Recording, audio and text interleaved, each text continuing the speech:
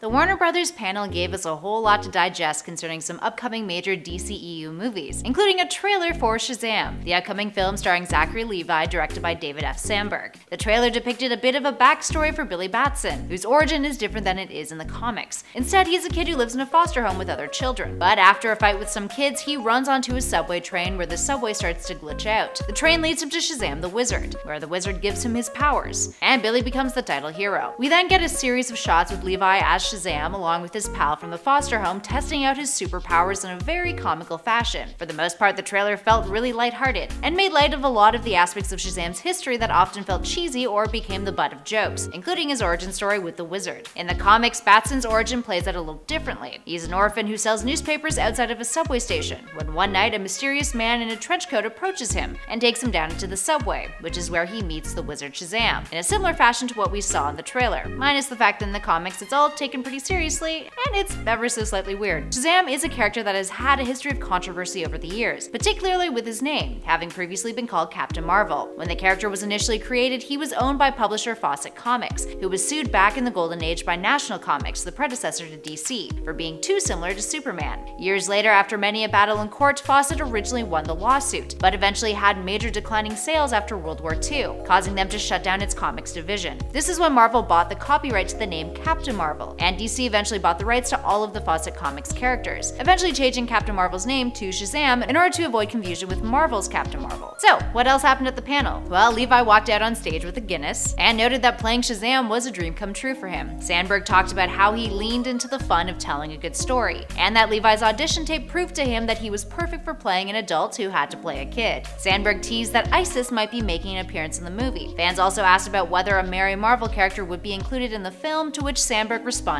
maybe. Alright, there we have it guys. What are your predictions for the Shazam movie? After seeing the trailer, do you think that Zachary Levi was the perfect choice for the role? Let us know in those comments below. If you dug this video, hit that like button, and don't forget to subscribe to Top 10 Nerd for all your San Diego Comic Con news, highlights, and updates. Thanks for watching.